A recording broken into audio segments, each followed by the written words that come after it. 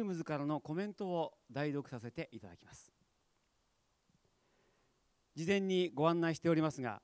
本日は主演の伊藤健太郎さんのご登壇はございません。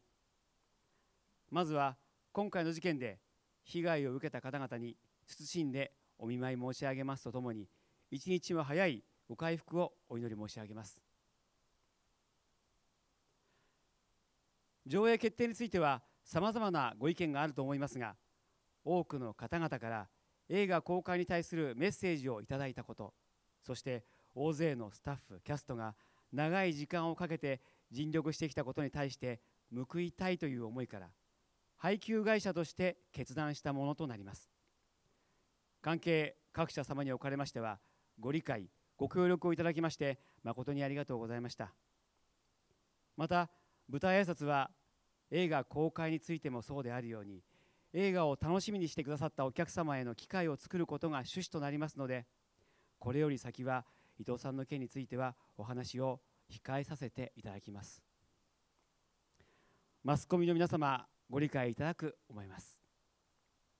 以上が配給の昨日フィルムズからのコメントでございました。さて舞台挨拶の方始めたいと思いますけど皆さんは、えー、ご覧になったばかりです。この作品コロナウイルスのために試写会など一切行うことができないで初めて昨日皆さんにご覧いただくことになりました。そして今日2日目黒木監督も皆さんと一緒に先ほど拝見してました。見てました。私も拝見しまして最初はまた「源氏物語」のタイムスリップものをやるのかなと思って見てたんですけれどもあこれは黒木監督はタイムスリップの面白さを描きたいのではなくて古貴殿の女房といったものを現代からもう一度見つめ直して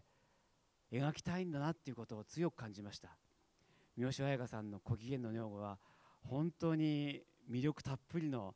えー、お姿でして燦然と輝いていました。若い者には負ければいい。いつまでも同じ地位にはいられないんだというセリフがありましたけども実は私が辞める時にそういうふうに思ってましてとても共演共感いたしました、えー、いろんな楽しみ方ができる作品でございました。